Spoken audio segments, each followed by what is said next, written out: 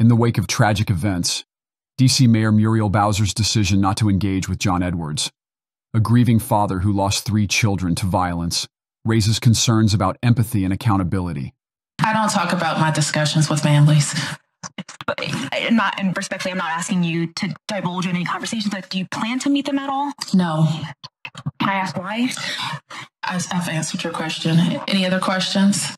John Evans tells us he is disappointed in that answer. Now, he has heard from someone with the Office of Neighborhood Safety and Engagement. Evans' 14 year old son, Avion, was killed on April 4th, nearly eight years after his older son was stabbed at the Deanwood Metro Station in 2016. The Evans family went through another loss last May when another son was shot on M Street.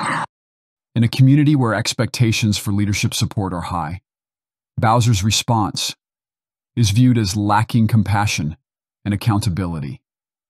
The significance of transparency and responsibility cannot be overstated. Bowser's evasiveness in addressing reporters' inquiries reflects a leadership style devoid of accountability and transparency. By declining to meet with John Edwards and expressing disappointment, questions arise regarding the authenticity of her engagement with the community. It's apparent that Bowser's actions undermine trust and goodwill, potentially heightening the distress and frustration experienced by those affected by violence.